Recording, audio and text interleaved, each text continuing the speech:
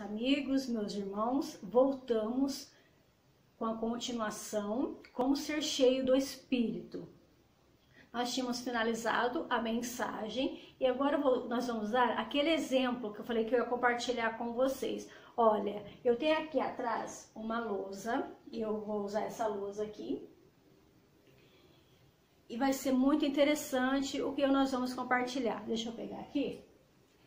Olha, eu, nós vamos fazer dar um exemplo aqui de como ser cheio do Espírito. É um exemplo bem prático e vai ser muito fácil para, vai ser algo que vai é, ficar na nossa mente gravado, porque é, aquilo que nós vemos é aquilo que gravamos mais do que quando ouvimos. Muitas vezes ouvimos alguma coisa, ouvimos alguma coisa e esquecemos. Mas aquilo que, que nos nossos olhos vem é aquilo que vai ficar registrado na nossa mente. E é esse o propósito, fica, que você que fique na sua mente guardado este exemplo de como ser cheio do Espírito. Então vamos lá. Primeiro aqui, eu não sei se está dando para ver direito, não sei se vai dar para ver direito por causa da iluminação.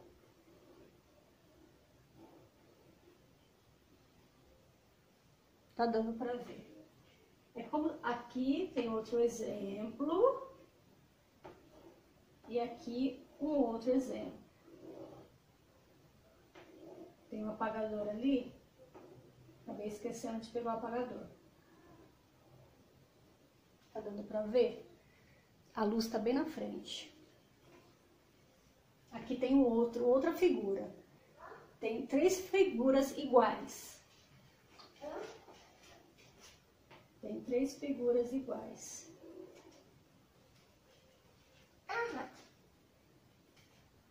A primeira figura, a segunda e a terceira. Então, a primeira figura. Essas figuras, elas são o copo com água.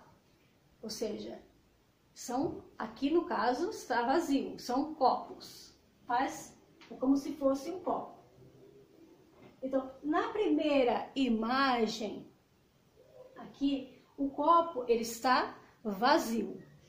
Na primeira imagem, o copo está vazio. Olha, então tem espaço aqui para alguma coisa entrar, tem espaço. Na segunda, olha, ele está meio. Ele está com na segunda ele está meio. Deixa eu ver como é certinho aqui.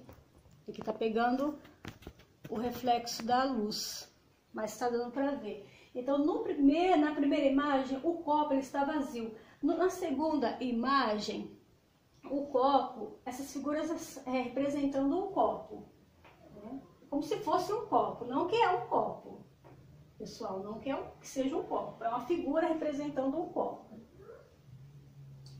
Na segunda, o copo está meio, tem meio. E aqui no terceiro copo, ele está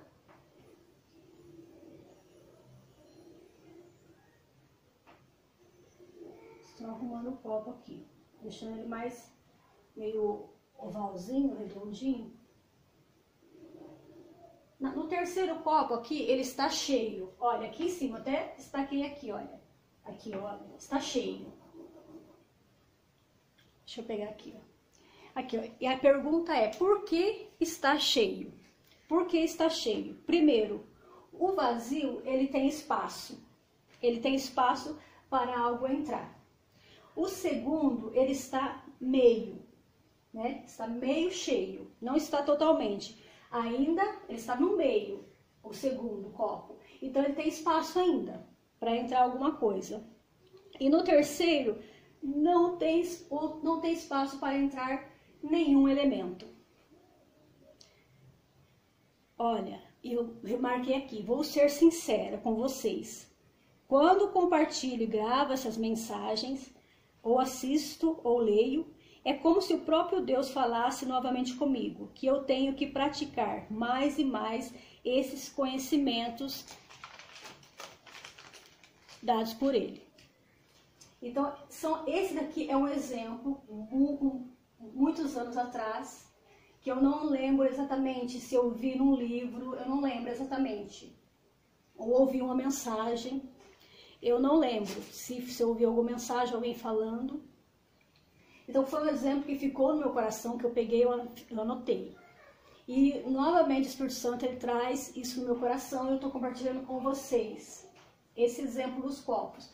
O primeiro está vazio, está é, tá, tá em condição. Aqui o copo ele representa a nossa vida, o nosso corpo, representa nós. Então nós estamos aqui, o, o corpo. Nós, a Bíblia diz que nós somos o templo do Espírito. O templo do Espírito. Nós somos o templo do Espírito a casa, nós somos a casa. Então aqui, de, aqui, aqui essa figura, a casa está vazia, está em perigo. Algo pode entrar. No, no, no, no, segundo exemplo, a casa aqui, ela está quase cheia, está pela metade, digamos assim, da presença de Deus, mas tem espaço para alguma coisa entrar. E aqui ela está cheia da presença de Deus, cheia do Espírito, não tem espaço para o mal entrar, não tem, não tem. Então, esse é um exemplo que eu quero compartilhar com vocês. Então, quando eu ministro para vocês, eu estou ministrando para mim. Quando eu compartilho com vocês, eu estou compartilhando como se fosse para mim. Eu começo a estudar essas mensagens, eu começo a assistir os vídeos, é como se eu mesmo pregasse para mim. E, e, isso não é, é, isso eu é aqui eu marquei, ou seja, as palavras que o Espírito Santo me deu não são minhas não é o meu entendimento, mas é o que Deus me deu. Então, quando eu assisto as minhas mensagens, é como se outra pessoa estivesse falando para mim, não é como se eu estivesse falando. Porque essas palavras não são minhas, esses entendimentos, conhecimentos não são meus, é Deus que dá. Então, por isso que eu compartilho com vocês, para edificar você também, edificar sua fé também. Então, isso não é semelhante, ou seja, o exemplo do copo quando oramos, isso também acontece quando oramos. Isso também é a fase da oração.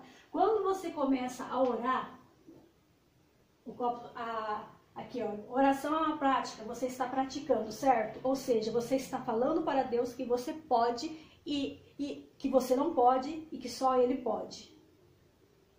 Aqui na oração você começa a orar, buscar a presença de Deus. Que você está se esvaziando de você para ser, para chegar à terceira fase para ser cheio de Deus. Você se esvazia de você, mas nós chegamos muitas vezes desse jeito aqui, ó, vazio. totalmente vazio. E cheio de nós mesmos, cheio das nossas, das nossas vontades. E no, no, na, no, no decorrer da oração, começa a subir a presença de Deus, a unção, começa a encher. E aqui, na terceira fase, estamos cheios do Espírito Santo, através da oração e da meditação na palavra. Esse é um processo também que acontece na oração. Olha que maravilha. Então compartilhe com vocês para edificar a sua vida, para edificar a sua fé no nome de Jesus. Então fica esse exemplo aqui do, do copo, do copo vazio, tem espaço para alguma coisa entrar. Então que seja a presença de Deus, que seja a palavra de Deus para entrar dentro de você. Não somente entrar, mas não ficar no meio. Então, é, Deus não quer que nós venhamos estar vazios, vazio ou meio, mas sim cheio. Porque se estivermos meio, alguma coisa de fora pode entrar. Fiz até uma festinha lá, não sei se deu para ver. Alguma coisa de fora pode entrar nesse espaço que está aqui vazio, que é o copo meio. Mas nós devemos estar nem vazio, X no vazio, X no meio e um, um visto aqui, né? Como se fosse ou assim, um ok. Temos que estar cheios da palavra de Deus, cheios da presença de Deus. Essa, esse é o exemplo que nós deixamos para edificar a sua vida, para edificar a sua fé no nome de Jesus. Que nós possamos ser cheios da palavra de Deus, cheios da presença de Deus. Então, isso que, que em Efésios 5,18 está falando. Não vos embriagueis com vinho, em que há contenda, mas enchei-vos do Espírito Santo. Então, nós vamos estar cheios do Espírito Santo, no nome de Jesus. Para finalizarmos, eu continuo aqui lendo. Deixa eu pegar aqui o versículo que diz. Continuando, falando entre vós com salmos, hinos e cânticos espirituais, cantando e salmodiando ao Senhor no vosso coração. Então, quando estamos cheios, estamos cheios da palavra de Deus, da presença de Deus, vai sair dentro de nós aquilo que edifica no nome de Jesus. Deus abençoe você, Deus abençoe a sua vida, Deus abençoe a sua casa, para a glória de Deus e até o próximo Mensagens que Edificam. Deus abençoe.